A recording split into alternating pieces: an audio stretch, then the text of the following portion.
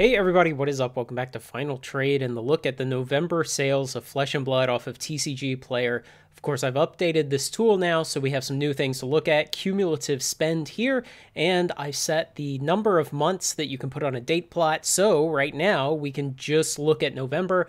We can see, oh, about $18,000 for Welcome to Rathe sales and a little under 16,000 for Arcane Rising and all the way down about 9,000 for Crucible of War. So that's interesting, but if we want, we can pull out here to 3 months and we can see a longer trend of how those things are going. And you can almost see, maybe we can squint and pretend that there's a slight acceleration in the pace of money being spent on these products out here. And of course, the cool thing about cumulative spend is that it's independent of box type, it normalizes across products, and it's simply how much money is being thrown into these things. And so we can see over the last three months, almost 700 boxes of Welcome to Rathe got gobbled up off the market, a little under 300 of Crucible of War.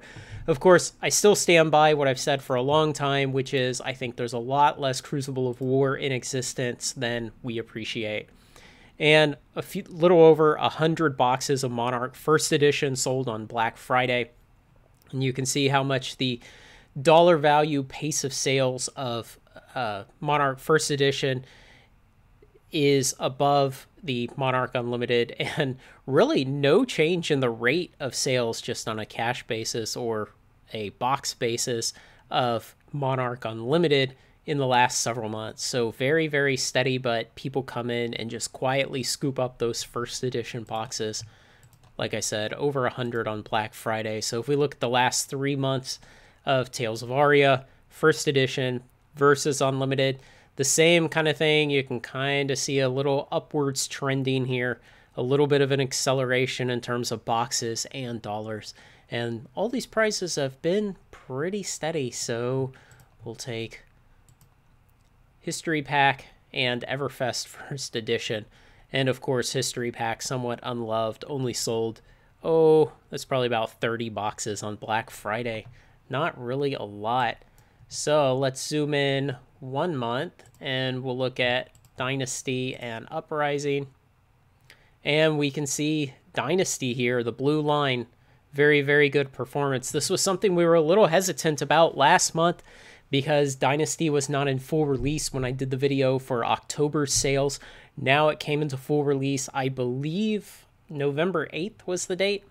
And we can see that it definitely picked up topped out a bit over $80,000 in sales and nearly a thousand boxes just during November. So there had been a few boxes back there and just look how stable these prices are. Let me let me just show Dynasty on here to really emphasize this. This spread here on the vertical axis is a dollar and 20 cents and it stayed between there the entire month.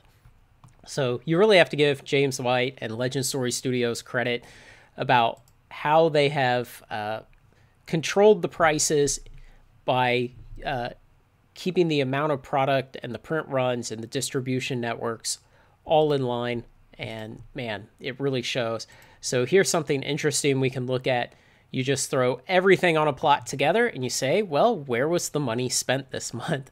Overwhelmingly, it was people buying the new product. And of course, this is great for the long term health of the game.